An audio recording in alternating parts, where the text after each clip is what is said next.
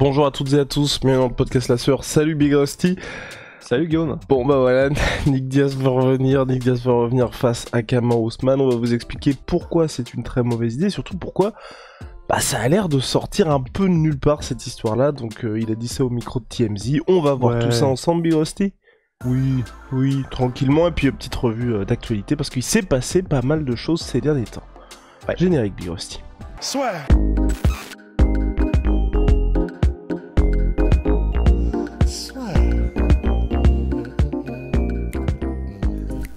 Entre dans l'octogone avec Unibet.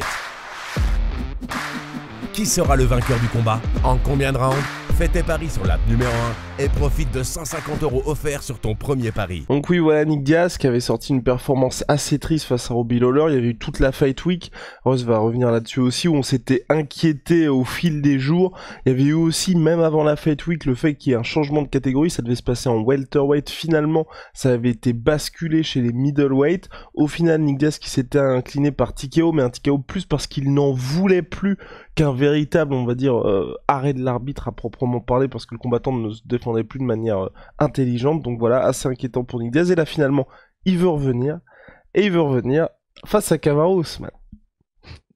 Mais alors, en vrai, on va, baliser parce que pour être tout à fait honnête, ça va être intéressant parce que ce podcast sur Nick va nous permettre de dire des choses euh, qu'on a appris dernièrement sur lui et sur son combat. Mais pour cette news-là, en fait, quand vous allez voir la vidéo de TMZ, donc qui est euh, le, le, je sais pas comment, le média américain qui a toujours ses petites news, etc.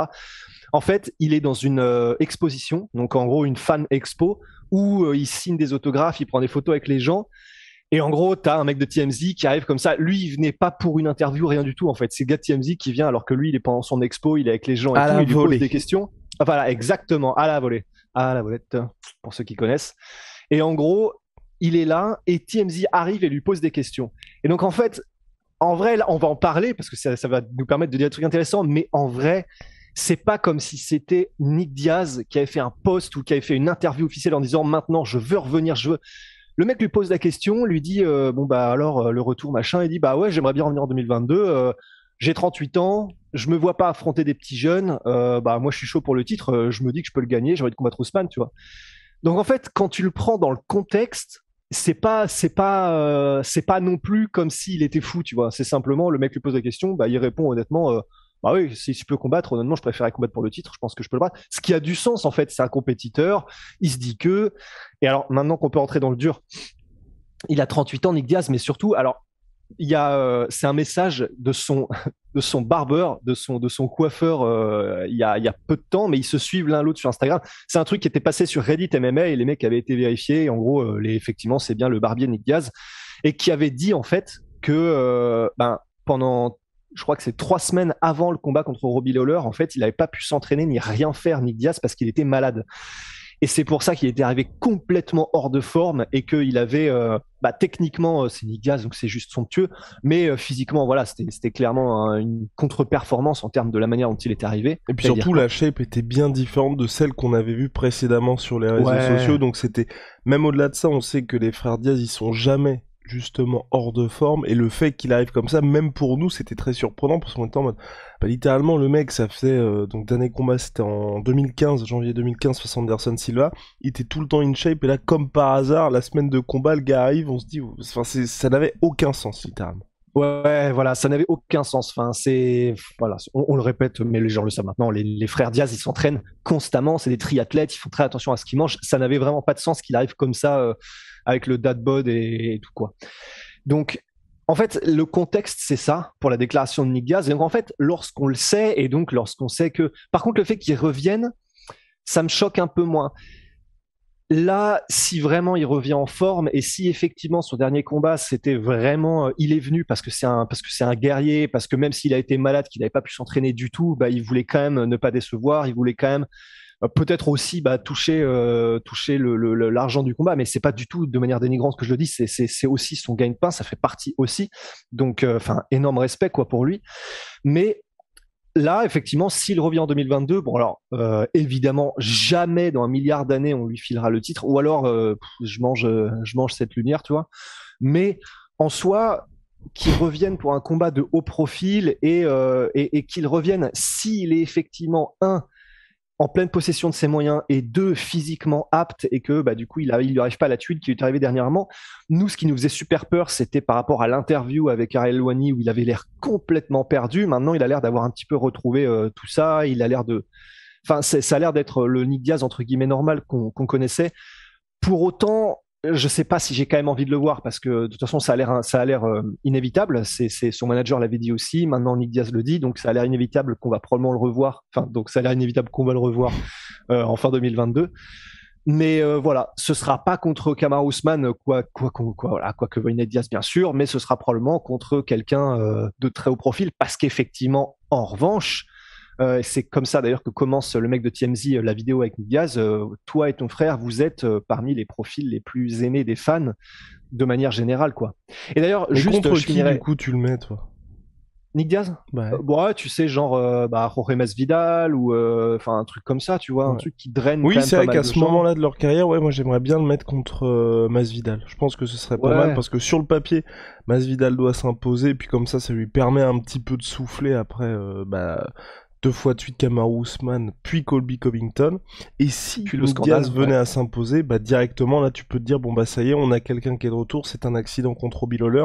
Et là effectivement, les combats face aux top, top contenders auraient du sens. Donc ouais non c'est vrai que ce serait pas mal ce combat-là. Et puis il y a l'histoire, euh, comme tu l'avais dit, oui il, va essayer de venger son frère, donc c'est pas mal aussi. Ouais. Ouais, voilà. En vrai, mais tout ça, moi, ça me paraît un peu froid maintenant. Enfin, dans le sens, tu sais, euh, c'est, on n'y pense plus vraiment. On n'y pense plus vraiment parce que la machine n'est pas encore activée. Bah peut-être, mais en fait, je sais pas, parce que 38 ans quand même, et 38 ans en welterweight, quoi. Je, je, suis... Je, je me, c'est pas que je me déchauffe, mais c'est que euh, voilà, plus le temps passe et moins j'ai envie de revoir quelqu'un, euh, un combattant pour lequel le temps a sacrément passé, tu vois. Mais bon, bah on verra bien. Oui, doit revenir, euh, ah là, je te, je te rejoins complètement. C'est s'il doit revenir, on aimerait que ce soit ça, mais moi, comme toi, je pense, j'ai pas envie de le voir revenir. Ouais, voilà. Surtout là de le revoir à la Fan Expo, en fait. Enfin, vraiment, euh, tu sais, il. Voilà, je pense que déjà il était à facile, euh, ouais, 85-90 kilos bien tapé, tu vois. Il était vraiment, il était bien assis, quoi. Enfin, il était de, enfin, tu vois, bien assis dans, dans son corps, tu vois ce que je veux dire. Mais euh, ouais, voilà, j'ai pas très envie de le revoir non plus. Mais juste, euh, c'est un dernier truc, mais tu vois, c'est pour ça que aussi qu'on aime les frères Diaz, et c'est un putain de détail. Hein. Vraiment, je sais que je m'accroche à un détail, mais en gros, si vous allez voir la vidéo de TMZ, il y a un truc que j'ai trop kiffé qui se passe dans la vidéo.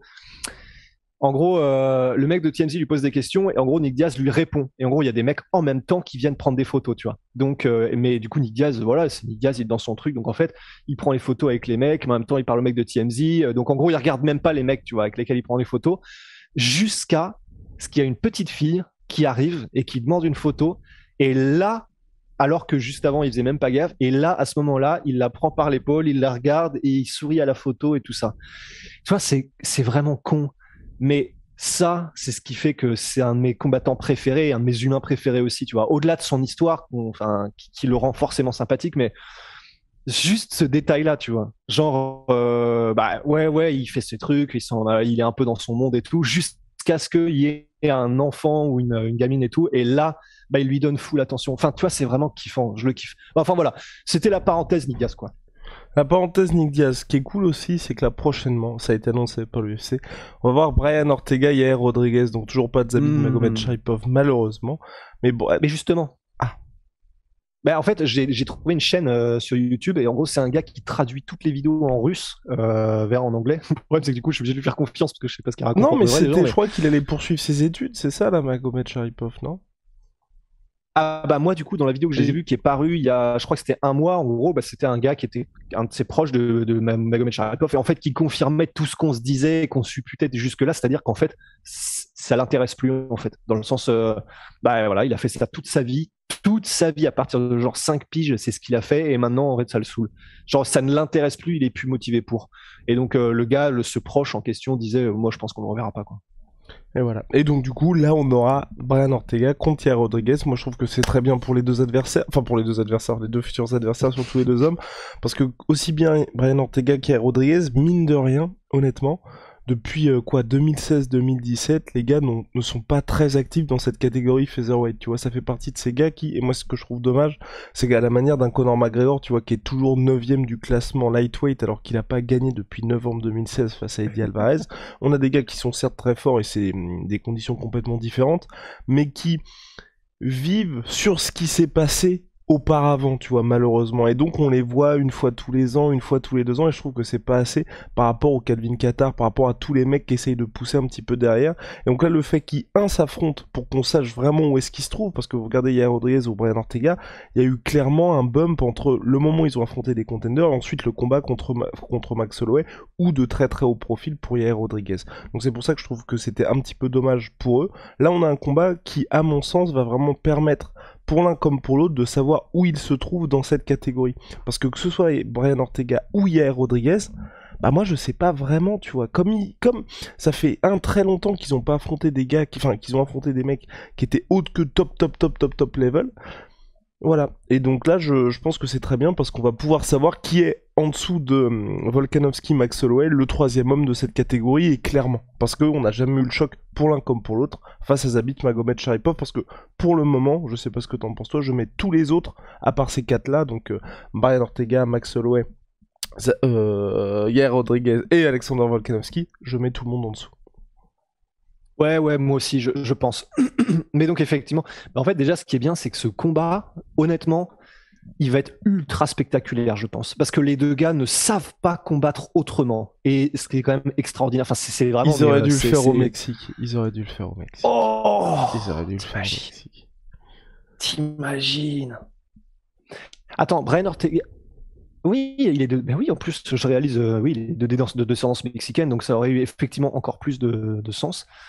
Mais euh, ouais, ouais, ouais, non, c'est vrai, putain, ça aurait été fou. Après, ils ont dit qu'ils le faisaient où À Vegas? Euh, Je crois que c'est à Long Island. Ah oui, c'est vrai, oui, oui t'as raison. Et eh ben ouais, mais donc déjà le combat sera ultra spectaculaire, ce qui déjà avant même de rentrer dans quoi que ce soit, enfin ça fait plaisir de se dire ok on a ce combat là qui arrive et qui va non seulement être spectaculaire parce que les gars ne savent qu'aller de l'avant et être des finisseurs, mais en plus c'est des techniciens incroyables. Et en plus de ça, bah, effectivement ça va nous permettre de voir où ils sont, mais sachant que en vrai pour Yair Rodriguez, quand tu combats Max Holloway, tu, peux savoir où t'en es quand tu es capable de faire presque jeu égal avec lui. quoi. Donc en fait, en soi, moi, je suis plus curieux pour, par rapport à Brian Ortega que Yair Rodriguez. Parce que j'ai l'impression que Yair Rodriguez, c'est un peu comme Denis Cruz dans le sens, le mec, tu le vois, c'est comme une éclipse, quoi. Tu le vois genre une fois tous les ans ou tous les deux ans, mais à chaque fois qu'il vient, le mec explose tout, quoi. Enfin, ou alors il fait des combats euh, de demi-dieu. Donc en soi, je me fais pas forcément de soucis pour Yair Rodriguez mais c'est plutôt pour Brian Ortega parce que bah, du coup, on se souvient qu'il y avait eu euh, cette coupure où il avait donc changé de camp d'entraînement, où il avait arrêté de s'entraîner que dans son garage, etc. Il était revenu, il avait fait un truc contre Conan Zombie qui était une masterclass. Et ensuite, il a eu son combat contre Volkanovski, mais c'est contre Volkanovski où il a été complètement euh, bah, plié en fait quoi. Il s'est fait plier par Volkanovski et c'était compliqué à regarder, mais on n'a pas pu du coup savoir grand chose à part que bah voilà il s'est fait il s'est fait hypnotiser quoi grosso modo. Donc en fait, je suis plus curieux par rapport à Ortega, parce qu'au final, euh, Ortega, c'est vrai que ça donne vraiment cette impression qu'il est au-dessus du lot quand c'est pas les quatre, enfin quand c'est pas les trois devant lui, mais quand c'est les trois devant lui, ben t'as l'impression que bah, c'est vraiment très compliqué quoi, parce que que ce soit la performance contre Volkanovski ou celle contre Max Holloway, c'est pas qu'il a pas existé contre les deux, mais euh, enfin c'était vraiment, il y avait un monde d'écart quoi. Donc moi, c'est plutôt pour Brian Ortega que, que j'ai très hâte de voir, mais dans tous les cas, et je me fais un peu de soucis même pour être honnête. Ouais, ça va être compliqué. Bah, le problème de Brian Ortega, c'est vrai quand il affronte l'élite de l'élite de l'élite debout et que les mecs sont euh, bah, aussi dans leur déplacement à un niveau qui est tel que c'est très très difficile pour lui de pouvoir jouer sur ses opportunités en soumission au sol. C'est un petit peu difficile parce que pour l'instant, il n'a pas encore su, euh, on va dire, débloquer le jeu, de réussir à amener les gars autre que par l'opportunité, on va dire, dans son domaine de prédilection. Et c'est ça qui est un petit peu compliqué. Donc euh, c'est là où moi aussi j'ai peur et que malheureusement contre euh, Rodriguez, sur 5 rounds, je que ça peut être un petit peu difficile pour lui. Même si, et c'est là que ça peut, bah d'après je sais pas ce qui s'est passé lors de son camp d'entraînement à Brian Ortega, mais c'est vrai que s'il arrive par contre à amener Yair Rodriguez au sol, on se souvient tous ce qui s'était passé contre Frankie Edgar, et là ça peut être vraiment intéressant, mais ça va être le gros challenge. S'il n'arrive pas à mettre Yair Rodriguez au sol, il peut passer 25 euh, minutes très très très très longues. Ah bah en enfer. Mais après c'est vrai que même contre Volkanovski, hein, il peut passer 25 minutes en enfer, sauf que s'il se retrouve 3 secondes au sol, il peut terminer euh, de C'est pour ça que c'est vraiment excitant comme combat, quoi. Mais donc, ouais, non, non, je suis très, très, très chaud. et puis surtout, ah, puis surtout, moi, ce que j'espère aussi, c'est que les combats pour Brian Ortega, hein, le combat contre Max Holloway et, et euh, Alexander Volkanovski, malgré tous les progrès qu'il a fait en boxe anglaise, tu vois, qui, qui se concentre sur ce qu'il sait faire de mieux tu vois. Et j'ai pas du tout envie que même si, ok, il arrive à mettre des bons coups, il a un bon jab, il, enfin face à, bah vous avez vu ce qu'il avait fait face au Korean Zombie, et puis même euh, grosse, même contre Max Holloway, il a eu des, il a eu des bons moments, mais globalement, à vouloir échanger face à des mecs qui ne font que ça depuis le début de leur carrière, vous allez vous retrouver du mauvais côté à la fin du combat, tu vois. Et moi, j'ai envie, j'ai vraiment envie qu'ils se disent, bon bah ok, je suis bon debout, mais là où je suis le plus dangereux, c'est vraiment en JJB. C'est là que j'arrive. Enfin, vous regardez, quand il a commencé sa carrière d'invaincu, c'était ça. C'est le gars perdait jusqu'à ce qu'il gagne et par soumission parce qu'il était hyper agressif dans le domaine. Et j'aimerais bien moi qu'il revienne à ça, tu vois, quitte à se dire à être un petit peu moins spectaculaire et que les fans, tu vois, se disent bon bah ok, on aimait bien les guerres qui faisaient en striking, mais le problème c'est que on verra ce qui se passe après, mais je pense que les combats contre Max Holloway et contre euh, Volkanovski, ça peut lui coûter très très cher, tu vois, dans le futur, quoi. Et puis déjà là, contre Max Holloway, il a perdu quoi Deux ans quasiment de sa carrière à cause de ce combat-là. donc, euh, donc bon. Et puis même Volkanovski, c'était l'année dernière, je sais, c'était en septembre de l'année dernière, donc ça fera aller dix mois quasiment. S'il n'avait pas pris autant de dégâts, je pense qu'il serait revenu un peu plus tôt. Ouais, non, c'est clair. C'est vraiment, bah, c'est un peu. J'ai l'impression qu'il est un petit peu dans cette catégorie maintenant, Brian Ortega, des Gustafsson, euh, des Uriah Faber, ou enfin, tu vois, des, éternels seconds un peu, quoi. On va voir. Ouais, à voir, à voir. Non, mais après, faut, il comme tu as dit, il avait changé déjà beaucoup de choses. Donc là, s'il peut se recentrer encore un petit peu plus, ça pourrait être intéressant. Big Rusty, on se retrouve très très vite pour de nouvelles aventures. Ah, ok. Ok. Oh, oh. Bah non, mais parce que moi, je pensais qu'on allait faire une petite revue d'actu vite fait, tu vois. Tu voulais parler de quoi d'autre? Euh, bah, il y a aussi euh, Armen Sariuko contre Matthews Gamrot. On n'est pas forcément obligé de s'étendre dessus, mais simplement le dire, le, le, notifier, parce que ça va être un combat aussi très intéressant pour le futur de la catégorie lightweight, parce que les deux sont des monstres. Et premier main event pour les deux, moi je trouve que c'est une très très très très bonne nouvelle pour le MMA européen. Ah ouais, grave, parce que franchement, enfin vraiment, il y a peu de potentiel futur champion, quoi. Enfin, à voir hein, comment évolue la catégorie, mais euh, les deux sont tellement talentueux que vraiment c'est très intéressant qu'il fasse ce combat-là. Et il y a aussi une nouvelle qui est très intéressante, c'est euh, pour la catégorie middleweight. Je sais pas si tu as été voir un petit peu la Edmond Chabazian, tu sais l'adversaire, le dernier adversaire de Nassour, euh, de Nassourdine Mavov, qui change tout, qui est en fait ouais qui change tout et c'est vraiment très intéressant. Et pour faire très très vite une revue du coup de ça, mais en gros. Euh, il est arrivé à l'UFC extrêmement jeune par le Contender Series. Je crois qu'il avait 21 ans, un truc comme ça, ce qui est vraiment en plus pour des middleweight. Enfin, c'est vraiment, c'est assez jeune, quoi. Et, il a eu une montée qui était vraiment fulgurante jusqu'à ce qu'il prenne euh, un stop sur trois adversaires d'affilée. Euh, il y a eu euh, Bronson, il y a eu Nassour et je sais plus quel était le dernier. Et oui, et notre ami qui va bientôt affronter Darren Till. Ah Jack Hermanson. Ouais, complètement. Ah, ok, ouais, voilà, bah, c'était ça. Et en fait, il s'est rendu compte lui-même, Edmond Chabazian, que c'est aussi parce qu'il y avait des limites dans son corps d'entraînement. Et en gros, là, il a dit que dans une interview récente, qu'il avait tout changé. Que, euh, mais c'est intéressant la manière dont il phrase le truc parce qu'il dit, moi, j'ai vraiment, euh, en gros, il dit, I have no ill will towards, euh, en gros, bah, son entraîneur Edmond Chabazian et Ronda Rousey, qui étaient ceux qui s'occupaient de sa carrière jusque-là. Donc ça veut dire qu'en gros, eux ne leur reprochent rien. Mais la manière dont ils tournent le truc, c'est vraiment, c'est à dire que j'ai l'impression que par contre, eux ont vraiment le seum. Et la raison pour laquelle ils l'ont probablement, c'est que donc il s'en va complètement, Emen Chabazian, pour parce qu'il a eu l'impression qu'il atteignait un palier. D'ailleurs, c'est marrant parce qu'on en parle sur le même podcast que Brian Ortega. C'est un petit peu pareil, quoi. Il a un peu la même réflexion et les mêmes mots choisis à propos de son de sa décision. Parce que, bah, comme pour Brian Ortega, il a, eu l'impression dans, dans ses derniers combats qu'il atteignait vraiment un plafond et qu'il ne progressait plus et qu'il était plus dans l'endroit où il faut pour avoir vraiment une courbe de progression optimale. Et donc, il a décidé de partir à Vegas. Il va s'entraîner à Extreme Couture et au UFC Performance Institute. Il va être avec Eric Nixik, qui est euh, l'excellent entraîneur bah, aujourd'hui de Francis Nganou et de bien d'autres combattants. Et, ça peut être vraiment intéressant parce qu'il est encore jeune, Edmond Chabazian, il est extrêmement talentueux et ben avoir un potentiel renouveau. Il dit que non seulement c'est au niveau de, son entraînement euh, technique, etc., stratégie, tout ça, mais aussi physique Donc ça va être vraiment très intéressant et ça, prend, ça prend vraiment quelque chose à cet âge-là. Il est, il est jeune et quand surtout tu as grandi avec ton équipe, euh, donc Edmond euh, Taverdian et Randa Rosette, tu as grandi avec eux. La loyauté, forcément, enfin, on imagine, tu vois, ça a dû vraiment, vraiment le. Ça doit être très compliqué, quoi. Ce sont presque tes mentors, ils t'ont tout apporté, ils t'ont tout donné jusque-là, et tu décides de les quitter pour aller autre part, mais dans ton intérêt, et c'est normal, de sa carrière, de sa progression, etc. Donc, ça doit, émotionnellement, ça doit pas être facile à gérer quand même de quitter ce camp qui t'a tout donné, mais il le fait et euh, vraiment, je, enfin, je, suis curieux parce que ça, il y a moyen que ce soit très intéressant, surtout pour quelqu'un qui est arrivé aussi jeune et qui est aussi talentueux dans la catégorie, quoi. Affaire à suivre en tout cas Big Rusty. On suivra ça avec attention pour Edmund Chabazian. Trois défaites consécutives malheureusement pour lui. Big shout out à Sweet Pea, Sweet Protein. Oh, moins 38% sur tout protéines avec le code de la sueur Venom, sponsor de l'UFC. Regardez-moi ça, sponsor de la sueur. À très très vite pour de nouvelles aventures.